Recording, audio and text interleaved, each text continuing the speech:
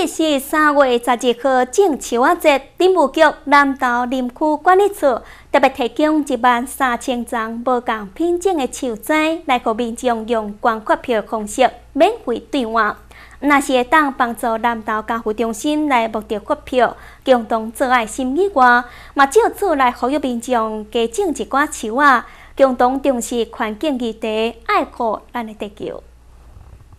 一透早就有真侪民众来到南投林区管理处等待树仔的发送。上早的民众是八点就进来排队，因为伫三月十二号植树节即天，林务局南投林区管理处是特别举办捐发票免费送树仔的活动，邀请所有民众做伙来种树啊，爱地球。啊，就说今天再送，所以我今天八点多就来了。大部分种那个花，上去你们说种茶花、含笑花，还有三莲花。所以，我去年种了三种，没办法，哦，花个开就是，哎，去年种，今年今年就可开了。非常有抛砖引玉的作用啊！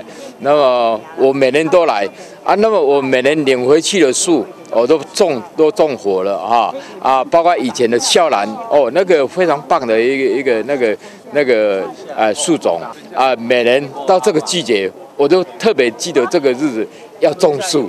啊，重视就是绿化我们的啊，台湾的这是美丽的宝岛。难道林区管理处今年是提供一万三千张，亲像是地花。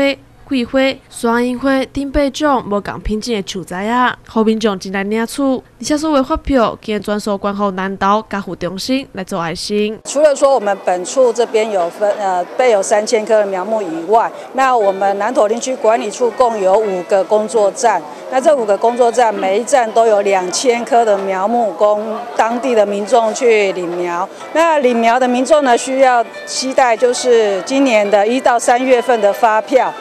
那领回去的苗木呢？我们是希望大家就是说，能够尽量就种在土壤里面，那好好的把我们的苗木带回去，好好的把它那个。呃，照顾让它能够继续的一个长得很健康，然后能够开出漂亮的花，美化我们的环境。除了种上树栽以外，南投林管处也特别利用机会来向民众宣导各散播栽利用以及生态干法，防止性骚扰等业务。希望能邀请乡亲了解各散播栽价值，共同重视环境保护，做回来爱护地球。记者刘选从报道。